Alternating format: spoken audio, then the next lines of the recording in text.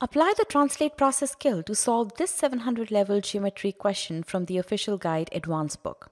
Pause the video while you're solving and resume when you're done.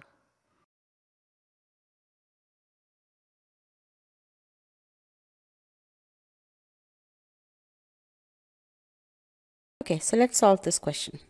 A circular rim 28 inches in diameter rotates, talking about rotation here, the same number of inches per second as the circular rim 35 inches in diameter. So, so far what you know is that there are two rims over here and they rotate the same number of inches per second. Okay.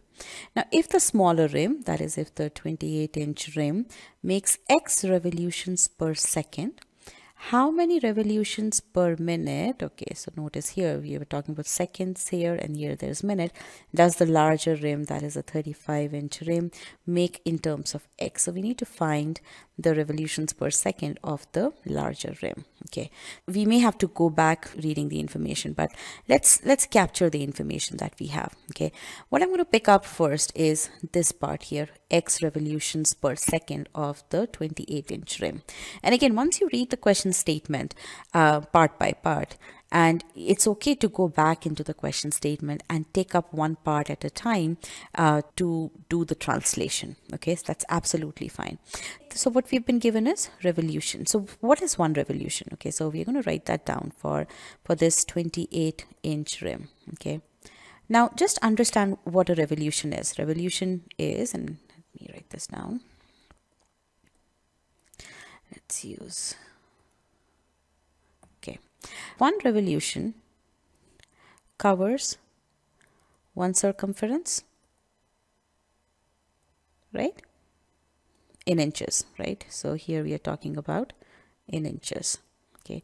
This is the revolution, this is the inches, right? One, one circumference. And again, just to be clear, because units are really important here, we're going to write this down again, okay? Which means that x revolutions will cover how many x times the circumference? In inches again. Talking about inches okay?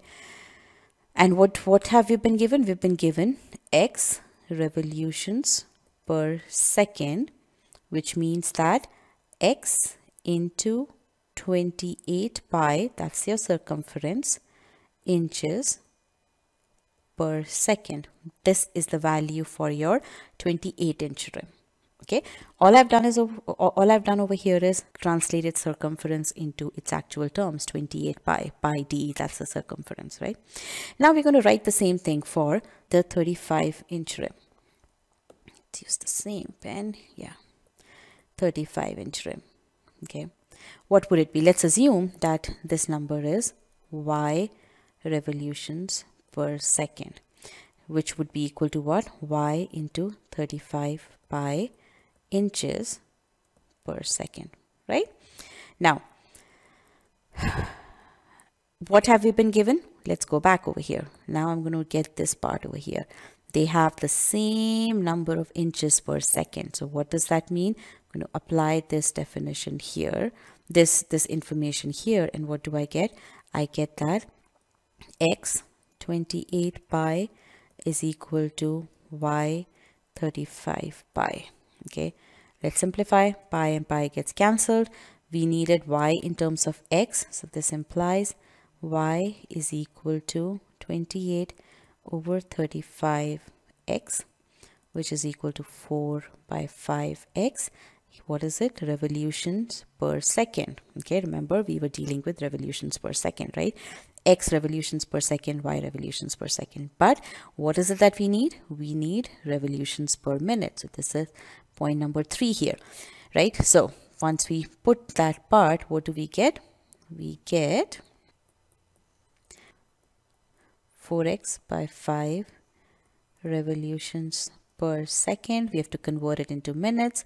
So let's do 60 seconds over one minute. What do we get? Second, the seconds gets cancelled. What we get is 48x of revolutions per minute. Let's write down the units more succinctly revolutions per minute. Okay? That's your answer. Okay? And let's uh, yeah so that's your answer. Now what i want you to focus on is there's various steps that we have done we read the question statement little by little and we identified these various parts. And then we translated each part at a time. First we translated number one over here. Then we translate, we brought in part number two and we translated that. Okay and we understood okay that there is this equation there is this uh, relationship that exists. And then we got the unit part number three and we did that translation over here. So there are three different levels of translation that we needed to do but the identification of those levels started from the, the review of the question statement. As we read it we saw okay there is something given about the number of inches then the information about the revolutions per second and then what is it that we need? We need revolutions per minute okay?